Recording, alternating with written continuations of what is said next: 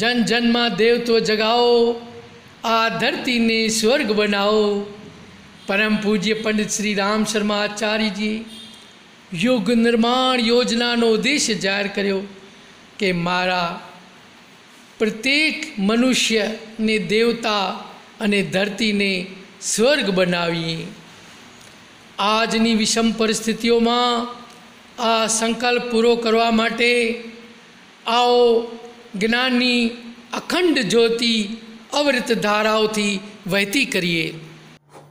હાલો, ઋષિ ચિંતન ચેનલમાં આપનું હાર્દિક સ્વાગત કર છે. પંડિત શ્રી રામ શર્મા આચાર્યના ક્રાંતિકારી વિચારો આપની સમક્ષ રજૂ કરી રહ્યો છું. શક્તિનો સંચય કરો, શક્તિનો સંચય કરો. જીવન એક પ્રકારનો સંગ્રામ છે. એમાં ડગલે ને પગલે વિપરીત પરિસ્થિતિઓ સામે તથા મુશ્કેલીઓ સામે લડવું પડે છે. મનુષ્ય અનેક વિરોધી તત્વોને ચોરીને મનુષ્ય અનેક વિરોધી તત્વોને ચીરીને પોતાની યાત્રા ચાલુ રાખવી પડે છે.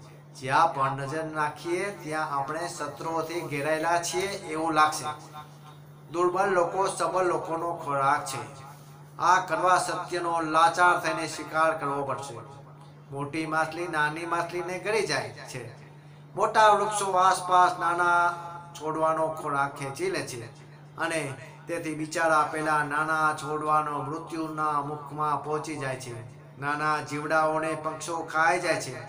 એક પક્ષીઓને બાદ જેવા મોટા પક્ષીઓ મારી ખાય છે. ગરીબ લોકોનું અમીર શોષણ કરે છે અને બળવાન દુર્બળને સતાવે છે.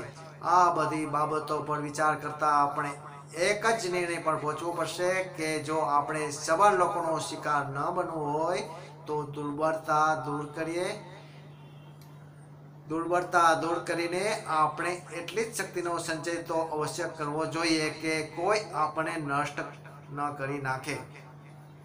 સાંસારિક જીવનમાં પ્રવેશ કરતા એ વાત સારી રીતે સમજી લેવી જોઈએ કે ફક્ત જાગૃત અને બળવાન લોકો જ આ દુનિયામાં આનંદમય જીવનના અધિકારી બની શકે છે. અખંડ જ્યોતિ ઓગસ્ટ ઓગણીસો પિસ્તાલીસ, પેજ નંબર એકસો ને ઓગણસિત્તેર. ગાયત્રી શક્તિપીઠ જેતપુર આપનું હાર્દિક સ્વાગત કરે છે.